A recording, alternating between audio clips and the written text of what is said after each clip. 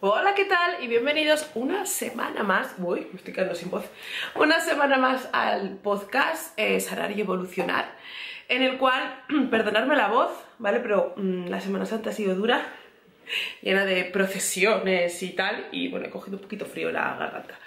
Pero intentaré, intentaré terminar este podcast. Eh, lo que os venía diciendo, bienvenidos un lunes más a este podcast en el que, bueno, ya sabéis que vamos a hablar de salud mental, salud mental en redes sociales, vamos a hablar de creación de contenido, vamos a hablar de negocio, por supuesto, va a haber estilo de vida y, y bueno, un poquito todo en general, ¿no? Un poquito eh, sobre estas temáticas que ahora mismo rigen mi vida y creo que es bastante interesante, eh, bueno, pues poder compartirlos con vosotros, ¿no? El tema de hoy va enfocado a todos aquellos que o bien tengáis un negocio, queráis tener un negocio, estáis empezando un negocio o simplemente os guste vuestro trabajo, ¿vale? No hace falta tener un negocio para eh, padecer o, eh, sí, padecer lo que os voy a contar aquí hoy.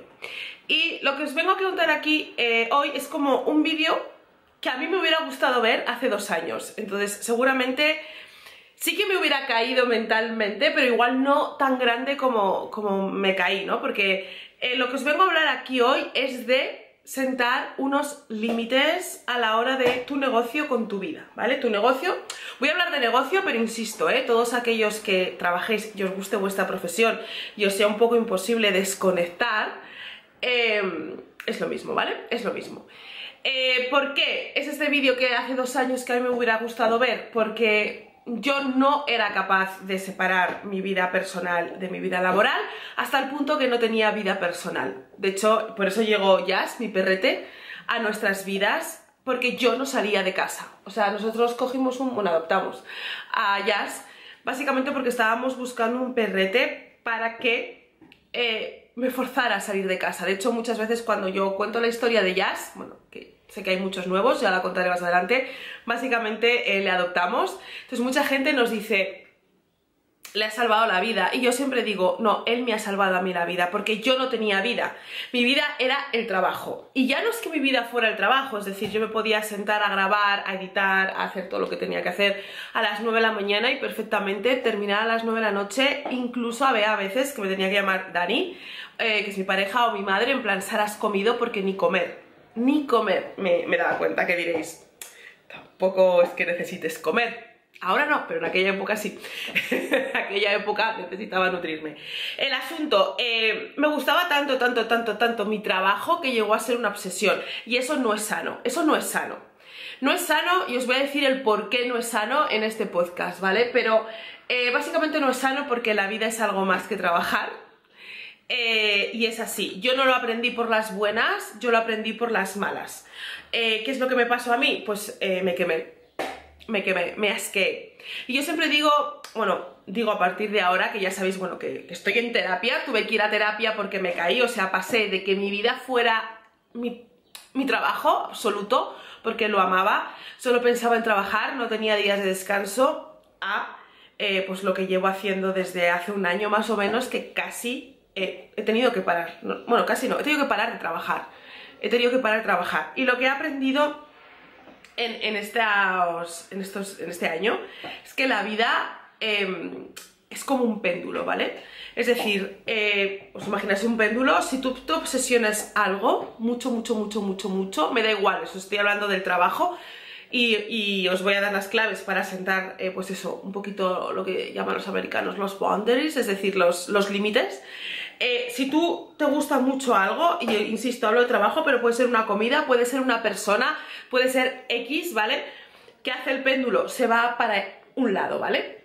Se va para este lado, es decir, yo estaba aquí, no, yo estaba aquí, salía de la cámara, yo estaba aquí. Eh, mi trabajo, mi trabajo, mi trabajo, todo era obsesión, todo era, ah, pues puedo hacer esto, puedo hacer lo otro, puedo no sé qué. Y claro, en un primer momento dices, jolín, qué bien, ¿no? Porque obviamente trabajas mucho, ganas mucho, eh, vale, está muy bien. Pero la vida es equilibrio.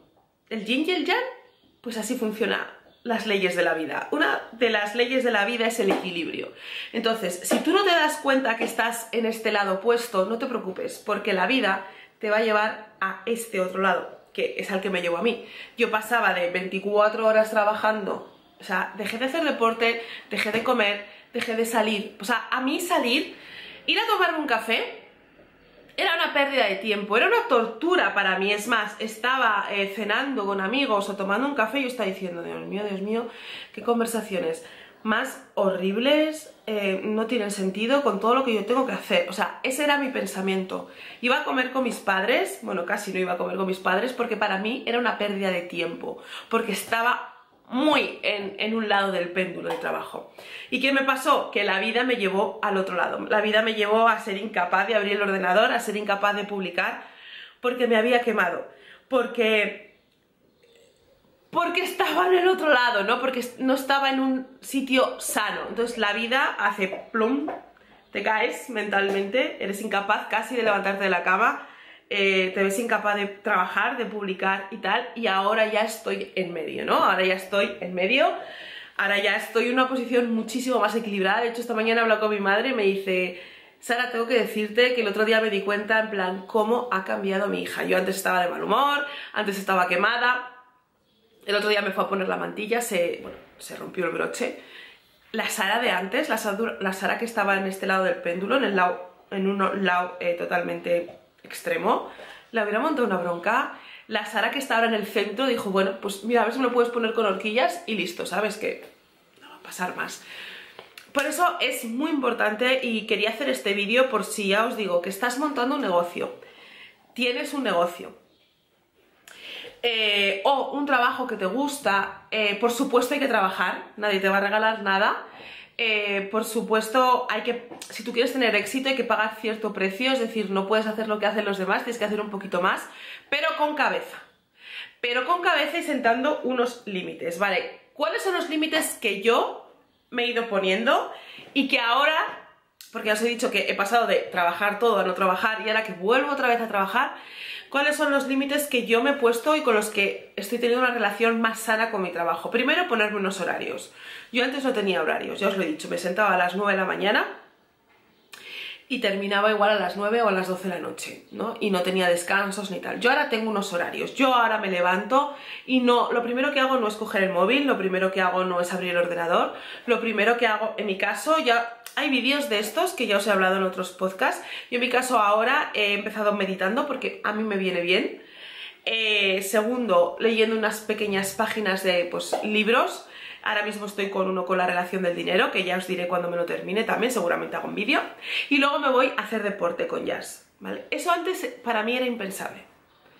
Hacerlo estando tranquila conmigo misma, o sea, sería impensable. Estaría meditando y estaría diciendo, Dios, tengo que grabar, tengo que no sé qué, porque no sé qué, porque no sé cuál, porque no sé cuál, eh, eh, sacar a jazz diría, Dani, ¿me puedes sacar a ellas porque tengo mucho trabajo, porque no sé qué, no sé qué? O sea, estaría en el paseo, venga, no sé qué, vamos rápido, porque no estaría disfrutando. Ahora he aprendido a disfrutar, porque es tiempo que me recarga. Me encanta estar en la naturaleza, ya sabes que mi mayor deporte es andar en el monte, o sea, es mi mayor gozada que me puedo dar, mi mayor premio, y lo disfruto. Vengo a casa, me ducho, me arreglo tal, y ahí ya me pongo a trabajar. Por supuesto, a las dos y cuarto me pongo una alarma y si no me pongo la alarma, ya habéis visto en Instagram que mi perro me avisa a las 2 y cuarto en punto, hay que hacer la comida, hay que ponerse a comer y a las 4, hasta las 4 descanso. Puede ser pasear con jazz, puede ser leer un libro, lo que sea. Y luego a las 4 me pongo a trabajar hasta las 6 y a las 6 lo dejo. No cojáis mi horario como ejemplo, porque primero, yo estoy trabajando en mi propio horario, segundo, yo parto de una situación en que yo soy mi jefa y que mi trabajo no es horas o sea, no contéis si hago 8 horas, ¿vale? Porque habrá días que haga 4 horas y días igual si eh, de lanzamientos, que volverá a lanzar productos, que haga 12. No, no, no contéis horas, simplemente os lo estoy diciendo en el sentido de que ahora tengo unos horarios. A las 6 termino de, trabajar, me pongo a juguetear con el perro, a las, eh, pues meriendo algo y luego me voy con el perro o salgo con el perro, vuelvo y me voy con unos amigos, es decir, ya no toco ordenador hasta el día siguiente por la mañana. Insisto, eso para mí es muy muy importante, ponerme esos límites, ¿vale? Al igual que ponerme límites del teléfono, a partir de las 10, de hecho mi teléfono duerme en otra habitación, yo no miro nada, porque para mí mirar Instagram o TikTok no es ocio, es trabajo. Empiezo a apuntar ideas de, de, vídeos, tal. Entonces tengo que forzarme a parar la máquina, a relajar y a estar presente en, en los momentos que estoy presente. Entonces tengo que aprovechar los momentos que estoy trabajando para que cuando esté presente no sentirme mal. También es muy importante saber decir que no. ¿Vale? Esto a mí antes me costaba, me salió un plan y nunca decía que no. ¿Qué pasaba? Que si a lo mejor no tenía el trabajo hecho, me sentía mal. Y ahora soy capaz de decir que no, sabiendo que en cuanto haga el trabajo o que puedo hacer el trabajo antes, voy a disfrutar más, ¿vale? Esto es algo muy importante. Segundo, muy importante, coge un hobby, el que sea, pintar. Por ejemplo, yo el año que viene quiero empezar a montar a caballo. Mi hobby ahora es pasear por el monte. Me encanta, es mi hobby. Pero quiero empezar el año que viene a montar a caballo. Y también quiero aprender a tocar el piano. Yo antes no tenía hobbies. Tú me preguntabas, Sara, ¿cuál es tu hobby? ¿Trabajar? No tenía hobbies. Es muy importante tener hobbies. Sobre todo para las personas que nos dedicamos a lo que queremos, para desconectar. Las personas que por circunstancias de la vida se dedican a un trabajo que tampoco les llena también es muy importante, pero seguramente su hobby sea su pasión, ¿vale? Es decir, mm, yo qué sé, mm, por ejemplo, mi madre es limpiadora y, y, su hobby es su pasión que es restauradora de muebles, ¿no? Ellos lo tienen más claro. Sin embargo, la gente que nos dedicamos a algo que te apasiona, es muy complicado tener un hobby porque tu hobby es tu trabajo es muy bueno, pero es muy malo a la hora de desconectar. Tercero, eh, aprende un nuevo hábito. Yo me he puesto el objetivo de aprender un nuevo hábito cada dos meses. Eh, a mí eso me da la vida. Me da la vida porque ya sabéis que a mí me encanta aprender. Y me da la vida porque aprendo nuevas habilidades que a veces incluso puedo implantar en mi negocio, otras veces no. Conozco personas nuevas eh, y ya sabéis que a mí relacionarme en la comunicación me encanta y bueno, a mí esto me ha ayudado mucho. También otra cosa que he aprendido es que cuanto más aumenta tu, tu vida, ¿no? Tu, tu, desarrollo como ser humano, eh, más aumenta tu negocio. Mi negocio cuando yo estaba en el lado extremo del péndulo crecía. Pero sí que es cierto que tenía una serie de complicaciones que yo las estaba trayendo por mi energía de obsesión. Yo antes no decía tengo que ponerme a trabajar, yo decía tengo que ponerme a facturar. Es algo que todavía estoy trabajando, ¿no? Porque veía el trabajo como facturar, facturar, facturar. Claro, esa obsesión hace que te quemes. Esa obsesión hace que te quemes porque en los trabajos de todo el mundo hay cosas que haces que no se facturan, ¿vale? Sobre todo en la creación de contenido. Tienes que generar mucho contenido gratuito para empezar a facturar, rentabilizar. Luego, una vez que empiezas a monetizar, hay muchas formas de monetizar. Pero no es la primera motivo por el que me tengo que levantar a trabajar. Entonces, para mí cambiar la palabra facturar por trabajar ha funcionado. Igual tú a lo mejor te estás refiriendo tu trabajo de otra forma. Tengo que ir a la mina. Quita eso. Quita esa palabra, ¿vale? Eh, a veces las palabras ya nos condicionan mentalmente y nos queman. Entonces, eh, cambia ciertas palabras a la hora de referirte a tu trabajo que pueda ser que no te están haciendo bien. Yo os digo, para mí era la de facturar. Yo esa hora me voy a poner a trabajar. O a producir o a crear. De hecho, en mi caso, la palabra es crear, que a mí lo que me encanta es esto de crear contenido, ¿no? Eh, otra cosa que he aprendido, y esto de verdad, os lo digo porque os voy a ahorrar mucho tiempo y mucho dinero, poner límites a tus clientes. Yo esto fallé, que sí fallé, Virgen Santa. La primera en la frente, fallé mucho. Tienes que poner límites a tus clientes de horarios e incluso no todos los clientes son buenos, hay clientes tóxicos.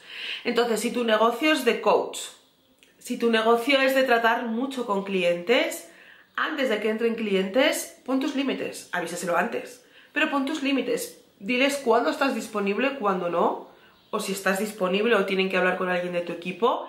Y por supuesto, en el momento que veas una bandera roja de comportamiento de algún cliente como obsesivo, como que tienes que estar a las 7 de la mañana o a las 4 de la mañana respondiéndole porque si no te monta un pollo, ponlo en todos los contratos, protégete, que tú puedas cesar esa relación con ese cliente. No hay que aguantar a todos los clientes. Y trabajo es trabajo y clientes son clientes, pero no todos clientes.